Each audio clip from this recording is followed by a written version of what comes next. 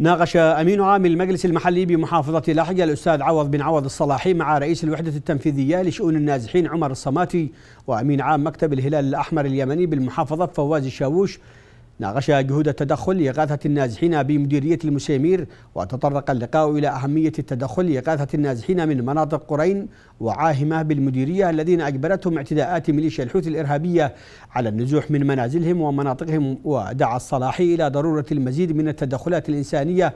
المتعددة الأقراض والاحتياجات للنازحين في مديرية المسيمير للتخفيف من معاناتهم التي ستفاقم مع دخول أو ستتفاقم مع دخول فصل الشتاء واحتمالية انتشار الأمراض في أوساطهم وخاصة الأطفال والنساء.